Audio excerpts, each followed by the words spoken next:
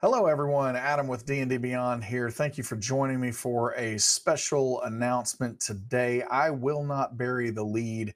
The combat tracker is now in alpha for subscribers. So if you were taking a pool in Twitch chat, then you're going to win if you chose combat tracker. We saw a lot of different guesses out there across the interwebs but uh, Combat Tracker is in alpha at this point in time for subscribers. So, subscribers of any sort, hero or master tier, you can access the Combat Tracker at this point in time.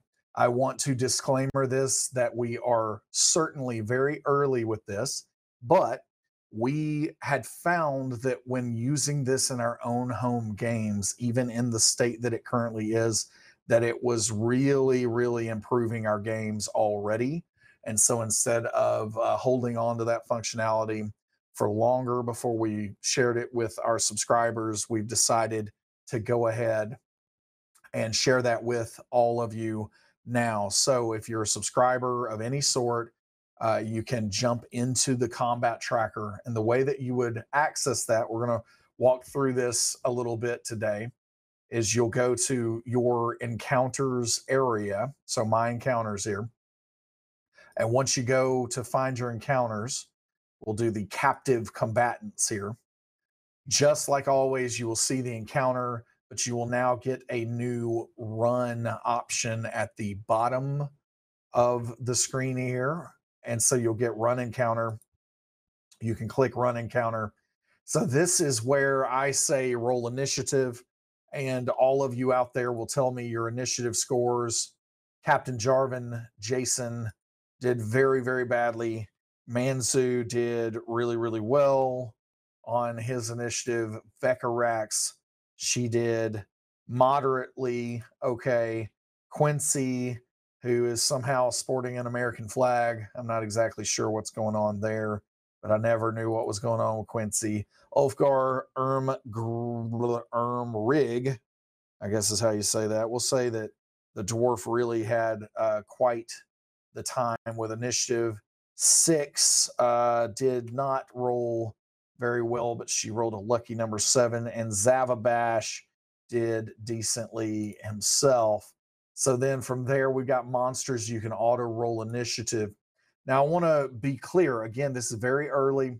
We will have this at some point in the future as we continue to go through the alpha to where uh, not only would you be able to auto roll for the player characters, but you would also be able to allow eventually allow player characters to roll perhaps digital dice or their own physical dice and then they would be able to input this initiative number and then everything will auto magically come in that's down the road but again, uh, we wanted to get it out as early as possible where we could start getting feedback.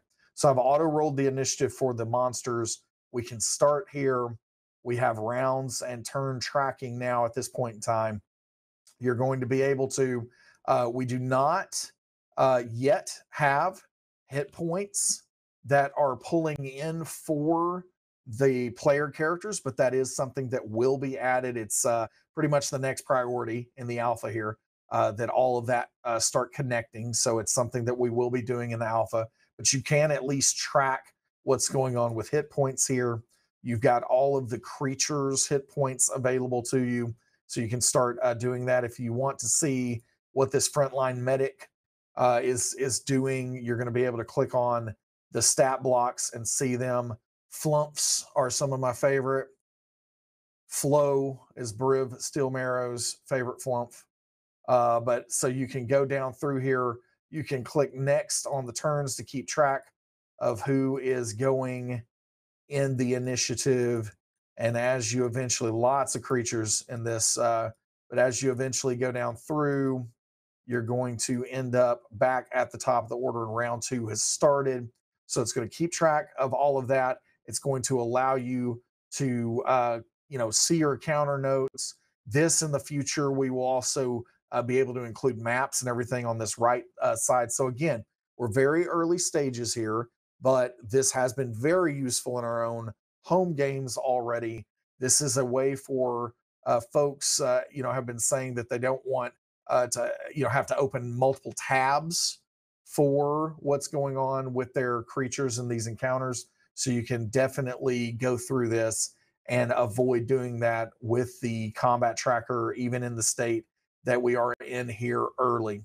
So we want everyone to use it over the course of the alpha. There's going to be more and more added to it as we're in alpha. We will eventually hit a public beta that would be available for non subscribers at that point in time. But as we're in the alpha, we want your feedback. So definitely take our survey. You can see the big uh, banner here. So if you have feedback, please supply it there. We also have a feedback area in our forums, and that will be uh, a change log will be posted on social media after this. You can also see it on the site up here with the change log icon. So if you want to go and check out the change log, it's also going to point you to the place on the forums where you can start giving feedback. So, uh, you know, any kind of feedback that you have is going to be valid at this point. Um, not to try to, you know, create any biases out there, for instance, but some of the last bit of feedback, I just want to give an example. Some of the last bits of feedback that we had, uh, even for the team before we've gone live with the alpha here, is that perhaps when we're using these grays um, to indicate, you know, uh, what the initiative score was uh, and, you know, what the character is.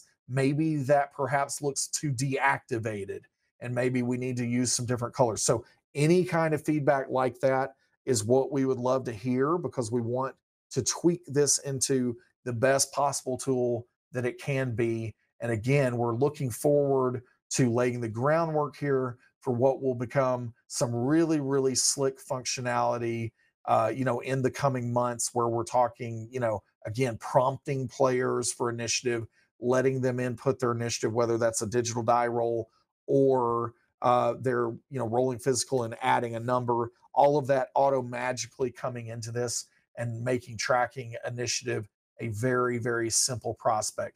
Now, you can also see that flumphs are actually individual uh, they're getting individual initiative uh, or individual lines here where you can track the hit points but they were grouped for the actual initiative itself so that's going to be done in your encounter with the actual grouping function here but you can keep track of their individual hit point totals uh, here in the tracker so try it out give us some feedback early here. It's very, very helpful to us. And then we will continue to fine tune this over the course of the alpha. We're very excited for you to get your hands on it starting today. I'm going to maybe take a few questions from chat. We probably don't have our magic thing going right now, but that's okay. I'm just going to do it like old school and eyeball over here some of the questions. Uh, so I'll answer a few questions before I wrap up and let everyone get back to their wonderful Tuesday. So, uh, Wraith Shadow question uh, Will we be getting a tutorial video for this either on YouTube or the forum? That is a great question and something that I believe we will absolutely do. One of the things that we want to avoid with that kind of content is we don't necessarily want to provide that tutorial uh, probably at this early of, an, of a stage because we think that uh, the UI is not necessarily locked in because that's going to be based on feedback. So when we get to a state where we're pretty comfortable that the layout and all of that is uh, dry concrete, um, then that is where that is the point where we would absolutely want to provide some type of video YouTube tutorial. And that's probably going to be closer to like a public beta by the time that we do that. But excellent question, something we will be doing. Uh, let's see. This is from Doc Tanner TV. Will we be able to modify uh, HP and conditions for players? And if so, will it dynamically update their sheet on their device? That is certainly the idea for the end state of where we want to get. So again, um, you know, just uh, transparently here, the way that we pull in character data is different than the way that we pull in monster data. And so that is the reason that we don't have all of that automatically pulling over yet for player characters. So the idea would be to pull that over and then at least in uh, you know the eventual state we would want any changes here to be able to be reflected between any of those uh, instances of the character um, and you know we've got to uh, we're going to have to do some special things to make sure uh, you know sometimes it might not display until after a refresh or you know whatever we've got to get into the triggers that are going to make all that happen you know as real time as we can get it uh, but again we're going to have to see exactly how all of that shakes out before the end of this uh, question from valentine 9k will we be notified when features are added yes the best place to be notified when features are added will be in the change log. So let's see if we have a change log. Yeah, we do have that up now for the alpha for the combat tracker. So the change log is up. And then you can also see that um, in this section, probably on this same uh, change log entry, um, there will be updates here. And um, We've got to see if that triggers your RSS feeds or not out there because you can, uh, you know, tie into an RSS feed for the uh, change log, and many folks do that out there.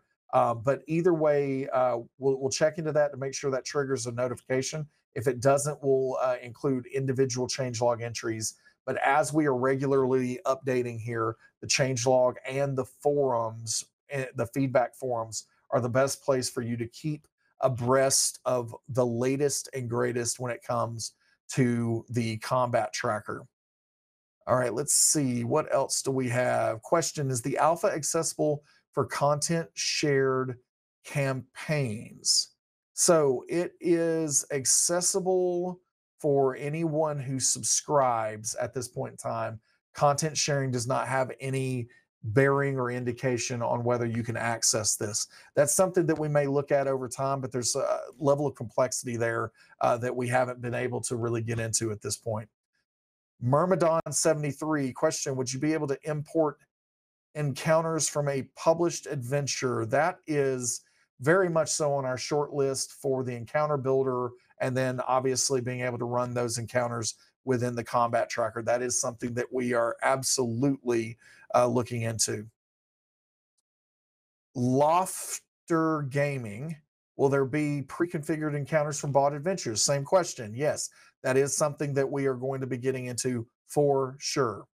Uh, 19 underscore gaming, how long until you add dice with rolling sounds? Um, it's coming.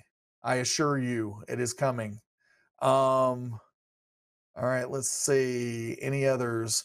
Uh, not Lethera, missed the beginning. Where do you get access to the initiative tracker? It is going to be unlocked for you if you're a subscriber. The way to access it is by visiting your encounters. Once you have an encounter, you can run it. Uh, apparently, you can also do this with uh, Adam's Epic encounter. Um, here, we're going to edit this to see um, let's see, what kind of players do we have? Okay, so make sure that we have, so we're going to run this encounter. I don't know who did this, genuinely. I don't know who keeps trying to just troll me constantly, but I guess this means that if you don't have a uh, an image portrait for the player characters in your campaign, you get my beautiful face there man, the stuff that I put up with around this place.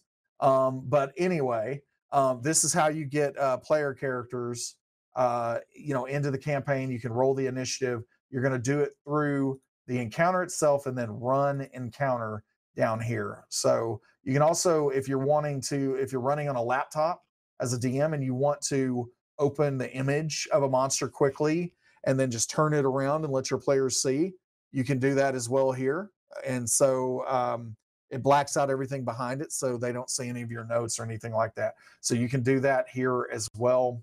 See what happens when you do this. Oh my gosh. The, the trolling never stops. This is definitely an alpha, folks. This will be removed ASAP, I assure you.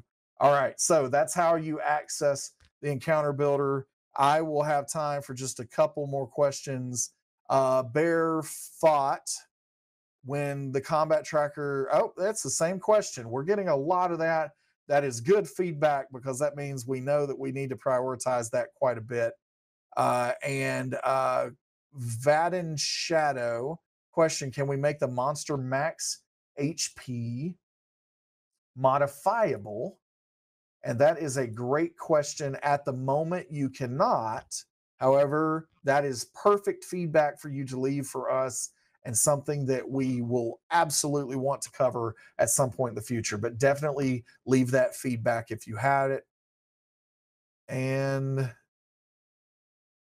let's see, Bone Graph. Can you please let us know who this is available to? So I'll reiterate one more time that it's for any subscriber, hero tier or master tier. Anyone who subscribes can access this early to start giving us feedback and to start helping us build what the community needs. That's what this is all about. We're trying to build what the community really needs. Let's see, any other questions? All right, I think that we're about out of time. I'm trying to do, um, I am trying to do just 20 minutes here um, to let you get on with your day. So, uh, Eludin, why are you all so amazing? I just genuinely don't know what the secret ingredients are. Perhaps a little dash of sweet tea, some cinnamon, some spice, and everything nice. And it just gives us this concoction that uh, turns out to be amazing. I appreciate the question compliment, and I appreciate all of you for joining me today. Please, if you're a subscriber, dig into this. Let us know what you think. Give us that feedback. Help us shape this into what it needs to be for the community. And this is just the beginning. Lots and lots of additional features are going to come for the combat tracker. We've also got a couple of very big things on the horizon that I imagine I'm going to be able to talk about pretty soon. Maybe something with rolling things and maybe something with being able to, you know, look at characters on you know devices in applications so lots and lots coming on the horizon we're excited uh, that we're going to be able to share that with the community just as we have for the combat tracker today. Thanks folks. Have a good day and we'll talk to you later